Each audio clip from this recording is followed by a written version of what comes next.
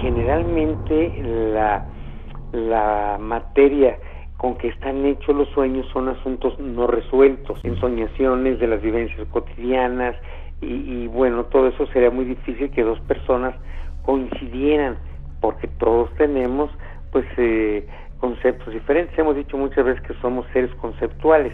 Entonces, para que dos conceptos eh, fueran similares o parecidos o iguales sería sumamente difícil, prácticamente imposible. Una parte de los sueños, en la fase profunda de sueño, a donde ya no son ni ensoñaciones ni símbolos oníricos, sino son vivencias. Entonces, eh, en esta parte, donde ya son reales los sueños que todos los días, todos los seres humanos, todos nosotros, en esa parte del sueño tenemos desprendimientos astrales y estos pueden estar eh, mm, parecidos o pueden ser los mismos cuando se trata de algo en común.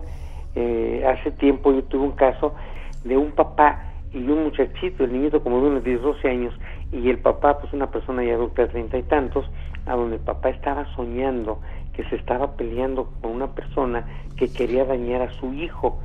Eh, dentro del sueño esa persona parecía como una persona mala, como una persona perversa, y el niño estaba soñando que su papá lo defendía de un señor que le quería hacer daño, y los dos recordaban el sueño con, con los mismos detalles, no parecidos, con los mismos detalles. Cuando se trata de algún sueño, y por ejemplo, papá y el niño estaban dormidos eh, a una cama de distancia. Cuando se tienen sueños de vivencias que están bajo el mismo influjo o bajo la misma influencia de algo, es muy probable que sueñen lo mismo. Esto solamente que te di un ejemplo, pero sí ha habido, yo he sabido de varios casos de personas que tienen esa clase de sueños iguales. Y lo que te decía de este papá y este niño es que el sueño de los dos se complementaba y finalmente pues fue algo, una vivencia que tuvieron pues en plano astral.